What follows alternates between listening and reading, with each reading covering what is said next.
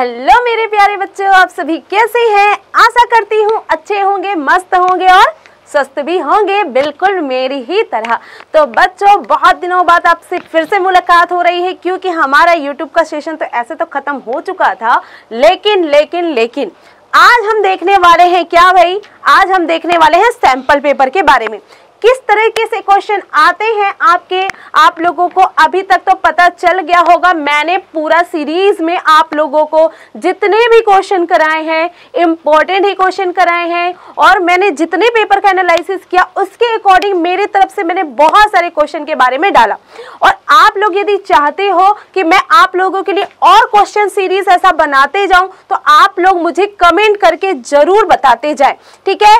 थोड़ा सा मुझे भी जोश दिया करें, जोश दोगे, तब तो मुझे डिशुम डिशुम करके मैं भी आते जाऊँगी आप लोगों के पास, आप लोगों की हेल्प करने के लिए। ठीक है? तो आज के सेशन में हम क्या देखने वाले हैं, सोच रहे हो मैडम तो पूरा करवा चुकी है, लेकिन आज क्यों अचानक से मैडम पहुँच गई? मैडम इसलिए पहुँच गई कि भैया, आज हमको क्या देखना है? आज हमको सैंपल पेपर देखना देख लो भाई, मेरी फ़ोटो बहुत सुंदर सी दिख रही हूँ कि नहीं बता दो। थोड़ी सी तो मैं हुई, मुझे पता है। तो चलो भाई, जिसको नहीं लगती तो भी मान लो हूँ, ठीक है? अपने आप को खूबसूरत मानना बहुत ज़्यादा ज़रूरी है, ठीक है? तो अपने आप को ब्यूटी क्वीन ब्यूटी आपका किंग मान के चलते रहो, ठीक? तो आप लोग देख रहे होगे जो हमारा छत्तीसगढ़ बोर्ड का पेपर बहुत ज़्यादा नज़दीक आ चुका है। और बहुत ज़्यादा नज़दीक और हम थोड़े से ज़्यादा ही मतलब हमारा हार्ट पीछे ना, धक धक धक धक, ऐसे ही मतलब चल रहा है हमारा सीज़न ठीक? तो अभी हम क्या बताने वाले हैं? मैं कोई आंसर आपको नहीं बताने वाली। पहली बात तो ये। तो आप समझ जाओ कि मैं यहाँ पर सिर्फ़ और सिर्फ़ सैंपल क्वेश्चन मान लो जाए, अचानक से आपके सामने धड़ से 26 प्रश्न आ गया। ठीक है? अचानक से मैं आपको 26 प्रश्न यूँ आपके सामने डाल के दे दी कि यही आएगा पेपर में। तब आपके जो दिमाग की बत्ती कैसे जलेगी या कैसे बंद होगी, वहाँ पर का सेशन आपको यहाँ पर इमेजिन कर रहे हैं। अपने आप को इमेजिन करो, यही 26 प्रश्न अगर वही पहुँच जाए तो। कैसे करोगे? कैसे लिखोगे? तो यही तो आपके मन में जगाना है मुझे कि आखिर आप इस सैंपल पेपर के क्वेश्चन को देख करके अपने अनुभूति को कैसे यहाँ पर करोगे? ठीक है? तो यहाँ पर हम देखने वाले हैं क्या? सैंपल पेपर यानी कि बोर्ड परीक्षा में कैसे लिखते हैं, ये मैंने सब कुछ बताया है। हालाँकि सिर्फ़ क्वेश्चन दिखाने वाली हूँ मैं कि आपको दिमाग की बत्ती जलाना है हमने कहा ये क्वेश्चन पढ़ा हुआ है ठीक है? तो आप लोगों को जैसे कि मैं पहले ही बता चुकी हूँ लिखने का पैटर्न फिर से एक बार मैं एक बार बता दूँगी यहाँ पर ताकि आप, आपकी दिमाग की बत्ती फिर से फटाक से जल जाए ठीक? तो चलिए भाई, हम देखने वाले हैं क्या हमारा सैंपल पेपर का क्वेश्चन अब बहुत ज़्यादा बकवास कर दी क्या मैं? चलो कोई बात नहीं, थोड़ी बकवास सुन लेनी भी चाहिए, तुम्हारे काम का चीज़ है। तो चलिए भाई स्टार्ट करते हैं हमारा जो मिशन 2023 ये आप ही लोगों के लिए इतना बड़ा बड़ा सा बनाई हूँ ग्राफिक्स मुझे आता नहीं पर सीख रही हूँ मैं भी धीरे धीरे से, ठीक है? तो चलिए भाई मिशन ट्वेंटी जो हमारा है सैंपल पेपर इस पर हम चर्चा करने वाले हैं। चलिए स्टार्ट करते हैं। जब हम क्वेश्चन पेपर देखते हैं तो सबसे पहले हमको ये तो पता है ब्लूप्रिंट जैसे कि हम पहले भी देख चुके हैं कि ब्लूप्रिंट में हमने क्या क्या चीज़ें देखा है। एक तो हमारे क्वेश्चन यानी कि कौन कौन से चैप्टर है और उस चैप्टर से कौन कौन से यूनिट वाइज प्रश्न पूछा जाता है और कितने अंक के पूछे जाते हैं, इस पर हम पूरा बात कर चुके हैं। तो पिछला हमारा वीडियो हमने देखा हुआ है, आप लोगों ने भी देखा हुआ है, सिर्फ़ आप ही लोग के लिए तो बना है, मेरे लिए तो बना ही नहीं है वो, ठीक है? आप लोग के लिए है कि आप ब्लू को भी देखें, समझे, जब भी आप पढ़ते हैं तो ब्लू ज़रूर अनिवार्य रूप से पढ़ा करें, ठीक है? तो यहाँ पर हमारा क्या है भाई? हमारा क्या है? प्रश्न उत्तर जो हम देखते हैं, एक तो हमारा जब भी हम सैंपल पेपर उठाएँ या ब्लूप्रिंट उठाएँ, सबसे पहले हमको सैंपल पेपर देखेंगे तो हमारे दिमाग में इस 26 प्रश्न को दिमाग में भर लेना है। ठीक है भाई? तो ये 26 प्रश्न जब आपके दिमाग में जाता है तो किस तरीके से जाएगा भाई? 26 प्रश्न आपके सामने मैं रख दूँ पेपर कली है तो आप कैसे पढ़ोगे उसको? कैसे लिखोगे? लिखने का पैटर्न याद करोगे वहाँ पर? मैं किसी का आंसर नहीं देने वाली, क्योंकि आंसर मेरे चैनल में रखा हुआ है, छाया मैम वाला बायोलॉजी क्लास वाला देखो वहाँ पर तो वहाँ पर आपको दिखाई देगा, ठीक है? तो सबका आंसर मैं पहले बता चुकी हूँ तो सिर्फ़ और सिर्फ़ क्वेश्चन देखोगे, मान लो जाए, ये प्रश्न हमारा कैसा आता है भाई? हमारा आता है, एक से लेकर पाँच प्रश्न जो होंगे, अति लघुत्तरी प्रश्न, यही आता है ना? एक से लेकर पाँच अंक के पाँच प्रश्न जो होते हैं, वो हमारे अति लघुत्तरी प्रश्न होते हैं। फिर हमारा क्या होता है भाई? लघुत्तरी प्रश्न आता है जो कि दो से मतलब छह से दस जो होते हैं, वो हमारे अति लघुत्री प्रश्न। उसी तरह हम आपके ग्यारह से बाईस तक के प्रश्नों की बात करें, ग्यारह से बाईस तक के प्रश्नों की बात करें तो वो क्या होता है? लघुत्तरी, यानी कि उसके बारे में हमको थोड़ा सा थोड़ा सा डिटेल लिखना है। चाहे वो अंक लिखने के पैटर्न पे भी आ जाए चाहे वो क्वेश्चन जो होता है वो डायग्राम के पैटर्न पे भी आ जाए। क्वेश्चन कैसा भी हो सकता है हमको पता है हमारा बायोलॉजी या धकाधक वाला आ, आता है तो उसमें हम क्या पढ़ते हैं? डायग्राम को बड़ा भड़ बनाते हैं और नाम लिखते हैं और हमारा क्वेश्चन सॉल्व हो जाता है। तो मुख्य हमारा क्या होता है? डायग्राम। तो लिखने का पैटर्न एक बार और मेरी तरफ़ से सुनते जाइए। आप लोगों के लिए बहुत अनिवार्य है। पेपर पास है तो थोड़ा सा देखते जाइए इसको, ठीक है? तो चलिए भाई, हम क्या देखने वाले हैं? सबसे पहले हम बात कर रहे हैं क्या क्वेश्चन के बारे में? तो हमको पता चल गया कि भाई 11 से 22 तक का जो होगा, वो हमारा तीन अंक का प्रश्न होगा और आपके जो तेईसवा प्रश्न होता है तो इसको याद रखना, चार अंक के प्रश्न। ठीक है? चार अंक के प्रश्न। हर बच्चा क्या करता है? बड़ा बड़ा को पहले बनाते हैं। भक भक से आ रहा है, इसको लिख दो। अरे भाई, आप छोटा छोटा को भाई छोड़ो मत इग्नोर मत करो। क्या पता वही छोटा छोटा नंबर भी आपको पूरे नंबर से पास करे, या फिर अच्छे अंक दिला दे। हम क्या करते हैं, बड़े के चक्कर में कभी कभी छोटा भूल जाते हैं, या छोटे के चक्कर में बड़ा भूल जाते हैं। तो समय एकदम तीन घंटे तीन घंटे बाँध, बांधा हुआ है। तो ये जो तीन घंटे में आप 10 से 15 मिनट सिर्फ़ क्वेश्चन को पढ़ो। रिपीट करो, ठीक है? अब क्वेश्चन को पढ़ा तो हमने है। अब एग्ज़ाम हॉल में अपने आप को अनुमानित करो, आप एग्ज़ाम हॉल पे हो। तीन घंटे का पेपर दे दिया आपको आपके हाथ में पेपर आप कैसे करें? इस पंद्रह मिनट में पढ़ना भी है क्वेश्चन सॉल्व भी करना है। तो आप रिलैक्स करो। सबसे पहले तब तो गहरी सांस लो और शांत हो जाओ। रिलैक्स करो। अब पंद्रह मिनट आप पढ़ो। ध्यान से पढ़ो। या, हमने पढ़ा हुआ है। ये, हमने पढ़ा। खुशी से खुशी से पढ़ो। कोई दिक्कत नहीं। पढ़ते जाओ पहले। पढ़ लिया। अब आपके सामने पेपर आया। बड़ा बड़ा से आपको क्या करना है? मार्जिन वार्जिन खींच लेना है लाइन वाइन बना करके बढ़िया से रख लो। ब्लैक ब्लू प्रिंट ज़रूर रखा करो, बहुत अनिवार्य है इसके लिए। तो अब आते हैं हम, क्या? आते हैं वापस से हमारा 24 से 26 क्या था? दीर्घ उत्तरी प्रश्न, दीर्घ मतलब बड़ा आंसर बड़ा आंसर मतलब आपको डायग्राम आपको फ्लोचार्ट अच्छा मैं बता देती हूँ लिखने का पता, बोलोगे तुम लोग लिखने का तरीका तो आप बता ही नहीं रहे हो, ठीक है? तो ये सारी चीज़ मैं बताऊँगी जो कि ये पाएगा पाँच अंक का प्रश्न, चौबीस से छब्बीस तक, जैसा कि पहले भी बात हुआ था। चलो, अब आते हैं क्या हम क्वेश्चन को याद करते जाओ। सबसे पहले हमारी क्या बात हुई थी भाई? हमारी बात हुई थी क्या? एक से पाँच तक कौन सा प्रश्न है? अति लघुत्री प्रश्न। अब मान लो जाए आपके सामने ये प्रश्न आ चुका। पेनिसिलिन किस सूक्ष्म जीव से प्राप्त होता है? याद करो और आप खुद आंसर दोगे, मैं नहीं दूँगी। हर चीज़ अगर मैं बताऊँगी तो फिर आप लोग क्या करोगे, ठीक है? तो आपका काम क्या है कि आप याद करो, ये सूक्ष्म जीव वाला हमने कहाँ पढ़ा हुआ है। याद करो, हमने इस सूक्ष्म जीव को कहाँ पढ़ा। मानव जीनोम परियोजना के बारे में कब पढ़ा हुआ है? कौन से टॉपिक में था हमारा? याद करो वो चीज़। और ये देखो कि हमने इन परियोजना के बारे में क्या पढ़ा है। महापरियोजना कुछ कुछ तो याद आ ही रहा होगा, है ना? तो मानव जीवोम परियोजना को क्या कहते हैं? सी एफ़ सी एस याद करो कौन सा चैप्टर था? ये हमारा पीछे का चैप्टर था, तेरह, चौदह, पंद्रह, सोलह, कौन सा यूनिट है? लास्ट फिफ्थ यूनिट था और फिफ्थ यूनिट में हमने इस टॉपिक को पढ़ा हुआ है। C F C S chlorofluorocarbon याद आ रहा है कि नहीं आ रहा है? तो ऐसा छोटा छोटा पॉइंट को आप पढ़ते जाओ। ठीक है? कि इस क्वेश्चन में ऐसा आया तो उस समय मैं मतलब इतना सारा चैप्टर सोलह चैप्टर है। तो इस सोलह चैप्टर को मैं कैसे कवर करूँ या कैसे पढ़ू मैं? तो ऐसा पढ़ो कि आप टॉपिक को देखो और आपको याद आ जाए क्या, भाई, ये ये टॉपिक का था क्या, इस चैप्टर का था, ये याद आ जाना चाहिए, ठीक है? तो कौन सा पारिस्थितिक तंत्र सर्वाधिक स्थायी होता है, हमने पढ़ा हुआ था, आपको याद होगा, महासागरी के बारे में हमने पढ़ाई कि नहीं पढ़ा है तो ये हो गया आप लोगों का।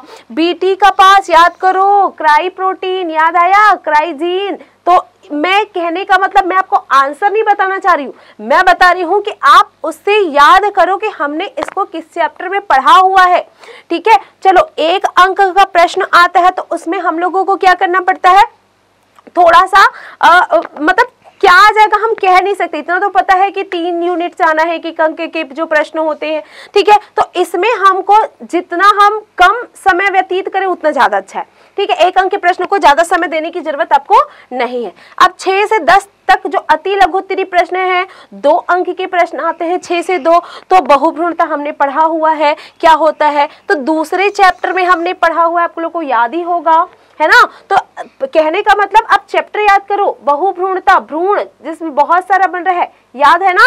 तो इसको क्या कहते हैं? क्या होता है? इसके बारे में लिखना हमने पढ़ा हुआ है। और नहीं पढ़े हो आप लोग तो पहले आप वहाँ पर जा करके मेरा लेक्चर देखोगे, जो मैंने वीडियो बनाए हैं। उसमें इन सारे प्रश्नों के बारे में मैंने पूरा ज़िक्र किया है। तो आंसर आपको मेरे उसमें मिल जाएगा, ठीक है? आप जीव विज्ञान वाला पार्ट देखो ट्वेल्थ क्लास का, आपको बोर्ड एग्ज़ाम का पूरा क्वेश्चन वहाँ पर मिलते जाएगा, ठीक है? मानव में होने वाले कृमि जनित रोगों के बारे में तो आपको लिखना है कि कौन कौन से कृमि जनित रोग है तो याद रखो कौन सा चैप्टर था? हमारा आठवां चैप्टर याद है ना? तो आठवां चैप्टर में हमने पूरा रोग के बारे में पढ़ा है प्रोटोजोवा से होने वाले रोग कृमि जनित होने वाले रोग। तो क्वेश्चन को थोड़ा सा रियलाइज़ करो दिमाग में, एकदम सोचो कि कौन से चैप्टर में हमने पढ़ा। इसमें तो नहीं पढ़ा, इसमें तो नहीं पढ़ा। समझ आ रहा है आप लोगों को? तो दिमाग में वो चीज़ बैठाते जाओ, ठीक है? तो अनुवांशिक रूपांतरित फ़सल विकसित करने के कोई दो उद्देश्य क्या है भाई? तो कहने का मतलब आपको ये क्वेश्चन जो है मान लो जब परागण निषेचन में कोई तीन अंतर आ गया तो अब अचानक धक से आ गया। तब आप कैसे करोगे? तो वहाँ पर तो आपने पहले पढ़ा हुआ है ना, लेकिन सडनली कल मेरा पेपर है और अचानक से 26 ऐसा प्रश्न उठा दिया, तब कैसे करोगे? तो आपके दिमाग में मैं इस 26 प्रश्नों को पहले से डाल के रख रही हूँ। अचानक से ये सैंपल पेपर आ गया आपके हाथ में। हो सकता है ये बोर्ड में ही आ जाए, तब आपको दिमाग में होना चाहिए। यही प्रश्न कल आ गया मेरे में तो मैं क्या लिखूँगा या क्या लिखूँगी? ठीक है? तो आप एनालिसिस करो इस 26 प्रश्न को। ठीक है? एक्चुअल में ये मैं क्वेश्चन पेपर में ही पूरा डाल के रख रही थी, लेकिन मुझे लगा थोड़ा सा आप इसमें कर सकते हैं। मैं पिपटी में भी बना के बता सकती हूँ। ठीक है? कोडॉन किसे कहते हैं? आप लोगों को याद होना चाहिए। हमने पढ़ा हुआ है, पांचवा चैप्टर छठवा चैप्टर चैप्टर याद करो। Codon A U G समारंभन codon U A U A G, G है ना? तो ये सारे कोडॉन के बारे में श्रृंखला ये बहुत इंपॉर्टेंट टॉपिक होता है तो आप इसको याद रखोगे पेपर में आते हैं ठीक है? अब मैं मैं बात करूँ क्या? तीन अंक के प्रश्नों की। देखो मैं पूरा डिटेल नहीं जाऊँगी आप सिर्फ़ क्वेश्चन देखो, चाहो तो आप स्क्रीनशॉट ले सकते हो, वो ज़्यादा अच्छा आप लोगों के लिए, ठीक है? तो स्क्रीनशॉट ले लोगे तो फिर आपको मैं ज़्यादा वो नहीं करना पड़ेगा रुक रुक के चलना नहीं पड़ेगा, है ना? तो आपको पता चल जाएगा कि इस तरीके से क्वेश्चन जो है, आते, मैं पूरा क्वेश्चन डिटेल कर ही नहीं रही हूँ, फिर से रिपीट करती हूँ तो मैं क्वेश्चन डिटेल कर नहीं रही हूँ, सिर्फ़ आपको बताने के लिए है कि यदि ऐसा क्वेश्चन पेपर आ गया, तब आप क्या करोगे? धड़ से आ गया भाई, खाद्य श्रृंखला, खाद्य जल, क्या होता है? तो आप लिखो वहाँ पर। तीन अंक का प्रश्न है तो तीन अंक के लायक लिखो। दो अंक का प्रश्न है तो दो अंक के लायक। मैंने सब कुछ बताया हुआ है, कितना लिखना है, कैसा आंसर राइटिंग करना है, सब कुछ बताया, ठीक है? तो ये क्वेश्चन तो मेरे हैं। अब तीन अंक के प्रश्न और जो चार अंक के प्रश्न और पाँच अंक के प्रश्न, ऐसा होता है, चार और पाँच। इन दोनों में आपको बहुत ज़्यादा फोकस करना पड़ेगा। फोकस इसलिए बेटा, क्योंकि देखो, मैं पूरा डिटेल नहीं जाऊँगी, फिर से रिपीट करती हूँ, मैं कोई आंसर यहाँ पर नहीं बताने वाली हूँ। सिर्फ़ आपको ये बताने के लिए आई हूँ कि आप जब भी पेपर दिलाते हो, ठीक है, आप जब भी पेपर दिलाते हो तो उस चीज़ का खास ख्याल रखोगे। जैसे कि मैं बताई ना एक तो चार अंक के प्रश्न और पाँच अंक के प्रश्न। चार और पाँच अंक के प्रश्न ऐसे होते हैं, ध्यान देना बेटा, चार और पाँच अंक के प्रश्न ऐसे होते हैं जिस पर हम क्या करें। क्या करेंगे भाई? चार अंक के प्रश्न और पाँच अंक के प्रश्न पर हम क्या करेंगे बताओ? हमारा ध्यान एक ही चीज़ में होना चाहिए। क्या होना चाहिए? देखो। देखो, जब भी हम चार और पाँच अंक की बात करें चार या पाँच अंक की बात करते हैं तो हमारे दिमाग में चार चीज़ें एकदम बैठ जानी चाहिए। क्या चीज़ भाई? चार चीज़ें मतलब कैसा? पहला आपको क्या लिखना है? अच्छा जब आंसर राइटिंग आप करते हो ना तो चार और पाँच नंबर को प्रस्तावना देकर प्रस्तावना डेफिनेशन या अगर पूछा गया है उसमें ये टाइप्स क्या होता है इन सब चीज़ के बारे में अभी आप लिख सकते हो।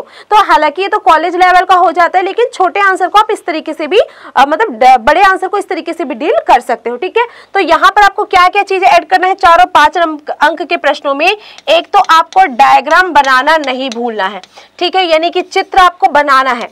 क्या? फ्लो चार्ट ठीक है? तो फ्लो चार्ट पर आपको विशेष ध्यान देना पड़ेगा। एक डायग्राम एक फ्लो चार्ट और जब भी लिखे तो उसको पॉइंट वाइज करके लिखे। कैसे लिखोगे भाई? पॉइंट करके। आप थ्योरी नहीं लिखोगे थ्योरी का मतलब पूरा पैराग्राफ में मत भर देना। पैराग्राफ लिखाई लिखता है लिखा लिखते हो आप लोग तो वो चेक करने में, में भी मज़ा नहीं आता है। तो आपको पॉइंट वाइज करके लिखना है और एक विशेष ध्यान जब भी आप हेडिंग को लिखे हेडिंग को जब भी लिखे तो कोशिश करिए ब्लैक पेन से लिखने का। हेडिंग आंसर राइटिंग जब आप करते हो तो आप उसे ब्लैक पेन से ही लिखा करें। और एक चीज़ और, डायग्राम बनाते समय विशेष ख्याल रखें कि डायग्राम को आपको पेन से नहीं बनाना है।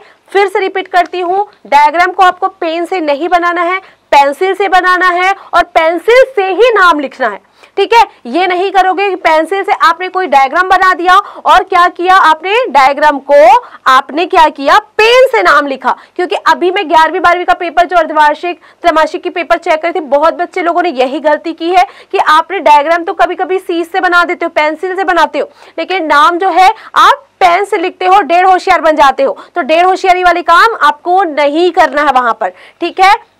तो इन चार पाँच बातों का आपको विशेष ख्याल रखना है। मार्जिन बढ़िया बनाओ, मार्जिन रखना ज़रूरी है, ठीक है? पहले पेज में एक एक अंक का प्रश्न उत्तर सॉल्व कर दो दो दो अंक का कर दो। चार और पाँच में हमेशा diagram flow chart point wise लिखना और अंडरलाइन मार सकते हो तो बहुत अच्छी बात है। उदाहरण, एक चीज़ और भूल गई थी मैं, क्या? उदाहरण को ज़रूर लिखा करे। बहुत अंक देता है ये आपका उदाहरण। ठीक है? तो आपको ये चीज़ को ज़्यादा याद रखना पड़ेगा अच्छा एक बच्चे ने एक क्वेश्चन किया था मुझे कि, मैडम, पहले चैप्टर में पाँच अंक के प्रश्न क्या आते हैं? तो ध्यान से सुनो बेटा, पाँच अंक के जो प्रश्न आते हैं, वो ज़्यादातर उसमें अलैंगिक जनन क्या होता है, इसके प्रकारों को समझाइए। बहुत इजी है, पढ़ोगे तो ही समझ आ रहा है, ठीक है? तो एक ये प्रश्न बनता है, दूसरा प्रश्न जो बना हुआ है वहाँ से, कायिक जनन के बारे में, ठीक है? कायिक जनन क्या होते हैं? जैसे गुटी बांधना आपने पढ़ा हुआ होगा। अगर ट्वेल्थ में पहला चैप्टर पढ़ा हुआ है तो गुटी बांधना किसको बोलते हैं? ठीक है? और आपका क्या कहते हैं उसको? तने से, क्या कहते हैं उसे? अच्छे से मुझे याद नहीं आ रहा है। एक गुटी मतलब कायिक जो संकरण होता है, उनके प्रकार के बारे में पढ़ा है। प्राकृतिक विधि कौन कौन सी होती है? कृत्रिम विधि कौन कौन सी होती है? इन सब के बारे में पढ़ना। वहाँ से भी पाँच अंक के प्रश्न पूछे जाते हैं। तो इन सबको बारीकी से ध्यान रखोगे। देखो, मैं फिर रिपीट करती हूँ, मैं क्वेश्चन को सॉल्व कराने नहीं आई हूँ, ठीक है? मैं सिर्फ़ आपके एग्ज़ाम्स के लिए लिखने के पैटर्न को बताने के लिए आई हूँ, ठीक है? आपको याद रखना है पॉलीमरेज चैन श्रृंखला हमने किसमें पढ़ा हुआ है? आप याद रखें, श्रृंखला अभिक्रिया क्या है? घास के मैदान में पारिस्थितिक तंत्र हमने पिछले पांचवा यूनिट में पढ़ा हुआ है लास्ट में, ठीक है? तो कहने का मतलब जो चैप्टर से क्वेश्चन आते हैं, इस तरीके से आप इसको स्क्रीनशॉट करके ज़रूर रखें और लिख करके पूरा प्रैक्टिस करें। लिख कर डायग्राम बनाकर पॉइंट वाइज लिखे टॉपिक टॉपिक लिखते जाओ और टॉपिक को डिटेल में करते जाएँ, ठीक है? तो इस तरीके से आप अपना आंसर राइटिंग देते जाओगे। मान लो यही क्वेश्चन आएगा तो आप कैसे लिखोगे? आपको फाइलेरियसिस हो गया। ठीक है तो इसमें आ गया तो कैसे आंसर लिखो कारण कैसे बताओगे? सबसे पहले फाइलेरिया रोग होता क्या है? रोग जनक क्या होते हैं? ठीक है? कारण, ये नहीं कि तीन चीज़ें पूछा तो सिर्फ़ आप तीन चीज़ों को लिखो। कहने का मतलब आप कारण तो लिखोगे, लक्षण भी लिखो, उपचार लिखोगे। इसके पहले फाइलेरिया रोग के बारे में थोड़ा सा दो लाइन आपको लिखना पड़ेगा। उसके बाद उसके कारण, लक्षण और उपचार को लिखते जाओ। ठीक है? तो इस तरीके से आपको इसको सोल्व करना पड़ेगा। जैसे पच्चीसवा प्रश्न में क्या दिया? भाई, अपूर्ण प्रभाविता अपूर्ण प्रभाविता क्या है? एक फ्लो चार्ट थोड़ा सा बना दिए, एक डायग्राम बना दिए, फिर उसको चेकर बोर्ड से समझा दिए। तो आप ऐसा कर सकते हैं किशोरों को एल्कोहल तो किशोरों को एल्कोहल के लिए आपको कुछ एल्कोहल के नाम को याद रखना पड़ेगा। उदाहरण को याद रख लेना। ठीक है? महान लोग भूल जाते हो। आप लोग लिख लेते हो। अल्कोहल के बारे में तो हर कोई लिख लेता है, लेकिन कौन कौन से अल्कोहल? अल्कोहल का नाम इंपॉर्टेंट है यहाँ पर। तो उसको लिखना पड़ेगा आपको, ठीक है? तो स्त्री जनन और पुरुष जनन चंद्र निषेचन, इन सब के बारे में तो मैंने पूरा डिटेल आपको बताया है। तो प्लीज़ करके आप मेरे वीडियो को पूरा डिटेल में जाके ज़रूर देख लेना। पुरुष का, स्त्री का दिनिषेचन वाली जो पद्धति है सेकेंड चैप्टर का पूरा अच्छे से डिटेल आपको देखना है, ठीक है? ज़्यादा लंबा नहीं खींचूँगी वीडियो, आपको सिर्फ़ और सिर्फ़ सैंपल पेपर एक नज़र में दिखाने वाली थी मैं कि आप चाहो तो स्क्रीनशॉट इसका ले सकते हो, किस तरीके से प्रश्न, ये आता है, यहाँ पर खींच लो भाई, आप लोगों के लिए ही है, ये भी क्वेश्चन खींच सकते हो, ठीक है? इस तरीके से क्वेश्चन आया तो आप अपने, ये पूरे प्रश्न को आप अपने कॉपी में सॉल्व करके देखना शुरू कर दो। मान लो जो यही आ गया, तब कैसे करोगे? ठीक है? तो इसको खुद से बैठ करके सॉल्व करो, क्या पता यही आ जाए। ठीक है? तो आई होप ये टॉपिक आप लोग को समझ आया होगा। मैं जो बोलना चाह रही थी, वो आपके दिमाग में गया होगा कि सैंपल पेपर के क्वेश्चन इस तरीके से आए। तो आपको कैसे सॉल्व करना है? हाईलाइट करो, आपके दिमाग की बत्ती जलाओ कि इस चैप्टर से ऐसे क्वेश्चन आते हैं। ठीक है? तो और भी मैं क्वेश्चन आप लोगों के लिए लेकर आते रहूँगी, ठीक है? आप लोग मुझे कमेंट करेंगे, तब मैं आप लोगों के लिए क्वेश्चन और इस तरीके से सैंपल पेपर और बनाते रहूँगी। आप लोग का प्यार मुझे ज़रूरी है, ठीक है? आप लोग मुझे देते जाओ भाई, आप लोग का प्यार बना रहेगा कमेंट करते जाओ, मुझे भी लगेगा मेरे बच्चे देख रहे हैं, ठीक है? तो चलिए भाई, इजाज़त देते हैं, तब तक के लिए ऑल द बेस्ट अच्छे से पढ़ते रहो पेपर अच्छे से बनाना है सबको, ठीक है? तो चलिए चलते हैं, धन्यवाद।